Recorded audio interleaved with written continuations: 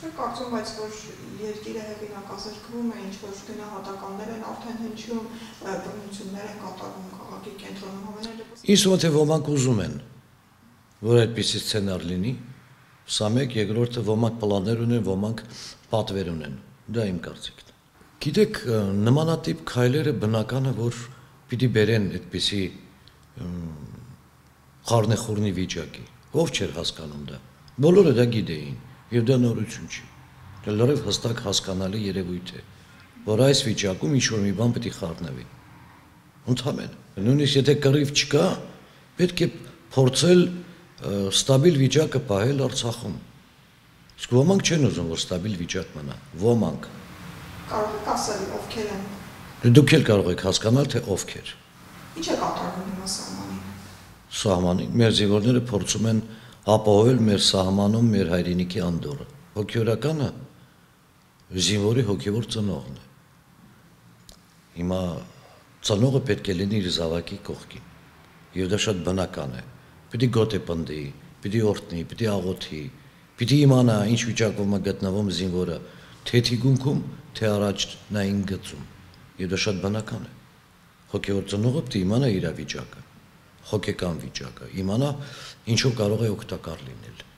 Եվ դա շատ նորմալ է, երբ որ հայր եւ որդի միասին են։ Լինի դա հոգեոր ծնող, թե ֆիզիկական ծնող, թե որպես հարամանատար ծնող։ Ունենք այլ բանակ, բայց ունենք ոչ վստահելի հակառակորդ, հա, Թշնամի Ադրբեջան։ Կարող ենք սпасել երկրից, որ այս պահին պահպանում է հարաբերական անդորը, բայց յուրաքանչյուր պահի կարող է հարձակում գործել։ Մենք դա միշտ գիտակցում էինք եւ միշտ պիտի գիտակցենք, որտեվ նենք Ադրբեջանի իշխանության հետ գործ ունենք։ Այդ իշխանությունը շատ նենք է։ Ամեն օր կարող է դիմել մի որևէ սադրանքի։ Դրա համար էլ Քրիստոս մեզ ասում է. ամեն ժամ, ամեն օր եղեք արթուն, զգոն։ Եվ մենք ազգովի պիտի զգոն լինենք։ Ինչ գնահատական տանք չտանք, դա կնշանակի Ադրբեջանը Ինչպես ունեցել է իր ծրագրերը եւ այդ ծրագրերը մնացել են նույնը։ Բնաջնջել Արցախի հայ բնակչությունը, ազատել տարածքը բնիկ տերերից եւ տիրանալ։ Սա է իր ծրագիրը ընդամենը։ Իսկ յուրաքանչյուր պահի սпасենք հերթական հարցակմանը։ Միշտ պիտի սпасենք։ Այսօր էլ 5 տարի հետո, 10 տարի հետո էլ։ Մենք մի այնպիսի խաչմերուկ ենք ապրում, որը լի է բազմաթիվ խնդիրներով եւ ամեն մի սադրանք ամեն մի պահի կարող է Երևան գալ այնպես որ միշտ մի պատրաստ լինենք տեսեք Թալիշը հիմա դատարկված է Թալիշցին վախենում է էլի հասկանալի պատճառներով չի ցանկանում այսինքն ցանկանում է վերադառնալ իր բնակավայր բայց չի կարող այնտեղ ապրել այս պահին ինչ պետք է արվի արդյոք տեսնում մի օր որ Թալիշը կվերաբնակեցվի ու Թալիշցին կապրի իր տանը միանշանակ միանշանակ կասկած չունեմ ինչ նախապայմաններ են պետք որ այդ մարդիկ վերադառնան? Ապավել զորեղ անվտանգություն եւ վերանորոգել գյուղը իսկ կորցված տարածքները այդտեղ դիրքեր ունենք կորցրած ունենք այո չեք կարծում որ պետք է հետ վերել դրանք հարմար առիթի իհարկե պետք է հետ հետ վերել բնական է Այսինքն չէ կիսում ոմանց կարծիքը, որ րոպե առաջ պետք է նախահարցակ լինել եւ հետացնել դիրքերը։ Գիտեք, պահը պետք է ճիշտ կրահել։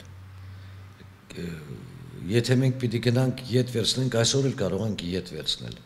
Բայց եթե զոհեր պիտի տանք, բնական է որ պիտի տա զոհ, դա գիտեք դժվար է պատա լինելու պատասխան տալ ծնողներին բայց եթե մենք դա կարողանանք ամենանվազագույն ամենանվազագույն կորուստներով յետ բերել, պետք է այդպես բերել։ Հա կարելի է այսօր էլ յետ բերել, բայց կարող մի 100-150 հոգի զոհաբերենք։ Դա ծանր կնստի մեզ վրա։ Այդ գնով պետք չի յետ բերել։ Կբերենք յետ հարմար պահի եւ նվազագույն զոհերով։ Մոտապատային կտեսնենք նման բան։ Անպայման պիտի տեսնենք եւ ոչ միայն դա։ Պիտի կատարյալ Արցախի հաղթանակը տեսնենք, անկասկած։ Ասում եք Արցախը որպես ազատ անկախ հանրապետություն ճանաչված միջազգային հանրության կողմից։ Մի օր դա էլ է լինելու եւ մի օր Արցախը դառնալու է մեծ Հայաստանի որպես պատմական մարզ։ Եվ նաև հանդիպեցին նախագաներ Ալիև ու Սարգսյանը, ինչ գնահատական կտակ արդեն։ Դե բնական է, որ նախագաները պիտի հանդիպեն, երբ որ երկու երկրներ պատերազմի մեջ են, բնական է, որ նախագաները պիտի ունենան իրենց հանդիպումները։ Փորձեն սեղանի շուրջ ինչ որ լուծումներ գտնեն։ Եվ ցանկալի է, որ սեղանի շուրջ լուծումներ գտնվեն, որpեսզի այդ խնդիրը դիվանագիտական դաշտից չտեղափոխվի ռազմական դաշտ որտեղ ռազմական դաշտում հարց լուծել նշանակում է երկկողմանի կորուստներ, երկկողմանի ողբերգություններ, որ դա ոչ Ադրբեջանի ժողովրդին, ոչ էլ մեծ ձեռնատու չէ։ Ժողովրդին ձեռնտու չէ, բայց տեսնում եք Ադրբեջանի իշխանության կողմից քաղաքական կամք խնդիրը լուծել խաղաղ բանակցային ճանապարհով։ Ցավոք սրտի ես անձամբ այսօր դա դեռ չեմ տեսնում։ Ես անձամբ չեմ տեսնում։ Եվ չեմ վստահում Ադրբեջանի իշխանությանը որովհետև բոլոր քայլ քայլերը